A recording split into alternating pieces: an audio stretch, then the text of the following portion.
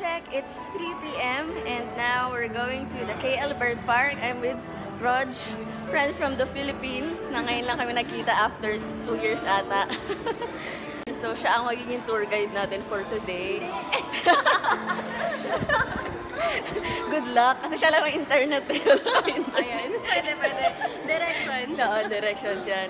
Google Maps yan. So, we're now here at KL Bird Park. Say hi, guys. Ay, nag-grab na kami kasi ang layo pala nito. Bibili kami ngayon ng ticket. Okay, so now we got our map and our passes. Uh, we bought it for 63 ringgit. Ayan. And this place is open until 6 p.m. only. So, we have to make the most out of it.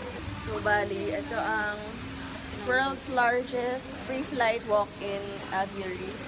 Ayun, kanya-kanyang dikit daw dito. Ano ba yun? Nagbayad kami ah, tapos kami magdidikit. Ano ba yan? Padikit yan. Ano ba yan? Parang Star City. Kainis. Yan, okay, thanks. Ayan, nakakabit na.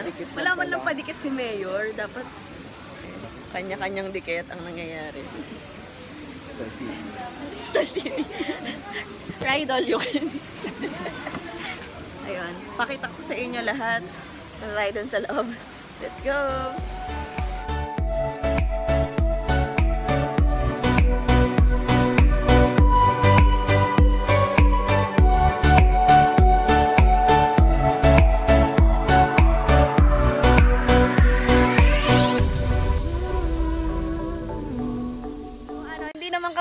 Masyado, ayaw namin mag-take ng mga videos. Ganun. Kaya lahat kami, lahat kami GoPro. Ayan, team GoPro po tayo for today. Let's go!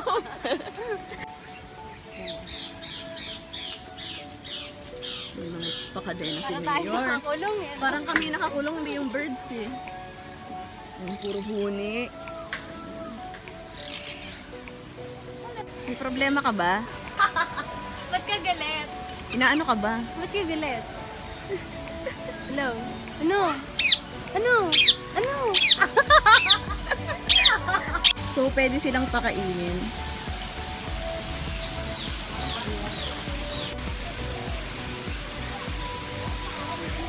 Ginagawa mo. Walang basaan. Nakikitingin lang kami.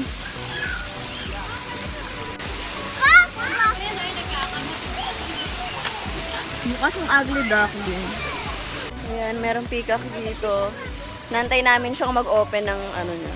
Kaso, baka pagsisihan namin pag ginawa niya. Kaya wag na lang. next, next, next. Nakakatawa dito ang babait ng mga birds. Sa ngayon ha, mabait sila. Di natin alam.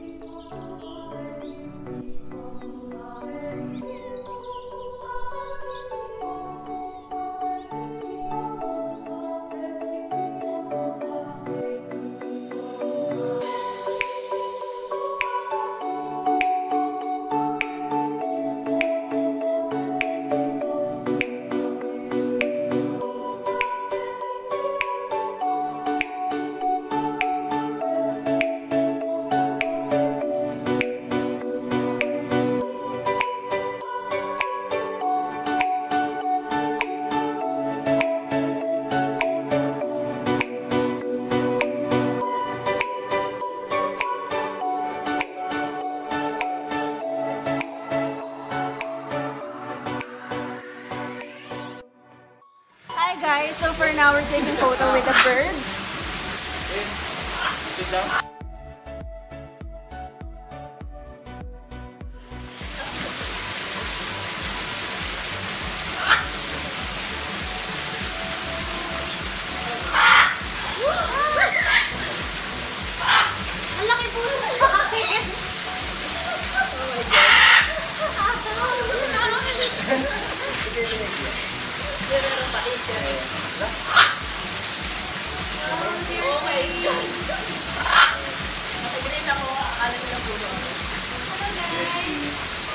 Okay, fine. Okay, fine. One, two. Wow. One.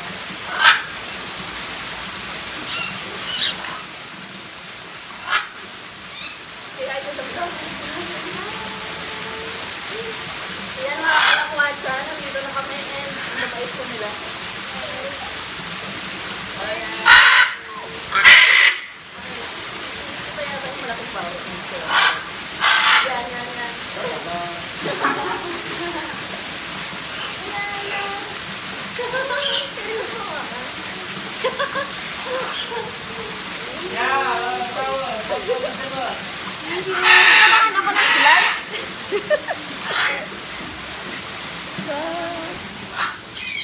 So this is our photo. Here. So meron din pala ng mga nakakulong na birds. Siguro yun yung mga dangerous. This is the real life ibong Adarna. So sad, di ako naka-iPhone. Ostrich. Kaso parang di sila malusog. May problema kaya sila. Baka yung lahid. And Ay! Hindi, umiinom siya eh. Nawala. Ah, may inom ba siya? Judgmental na naman tayo. We're with these big birds at my back na natatakot ako lumapit kasi ang haba ng tuka nila. Oh my God! I don't know if I can feed them or not kasi wala namang nag-aalok so hintay na lang tayo. Oh my God, nag-aaway pa sila. oh my God! Fudge!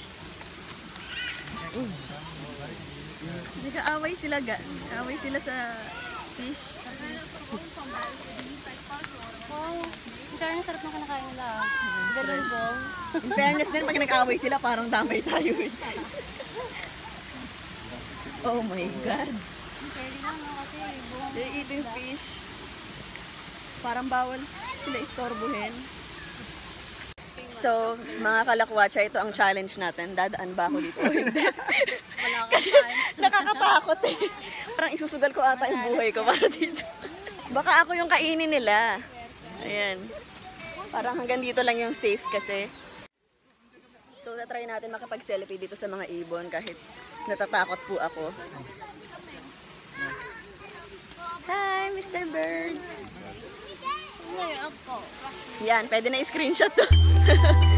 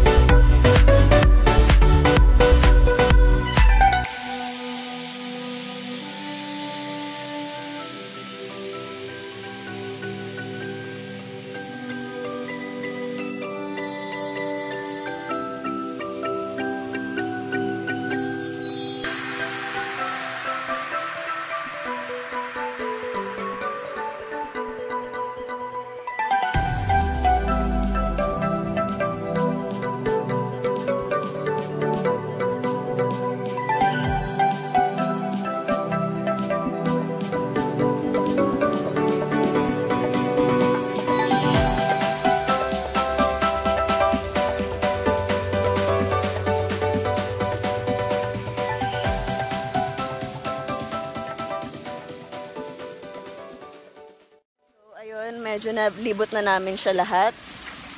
At amoy ibon na rin po kami. more lakad, more fun. Ayan. Hindi ako makapagpa-picture ng malapit dun sa mga ibon kasi mailap pagka nilalapitan mo, malayo sila. Init! So, yun na mga kalakwatsa. Doon nagtatapos ang aming KL Bird Park Tour. And ayun, pawis na pawis kami. Next stop natin is Bato Caves.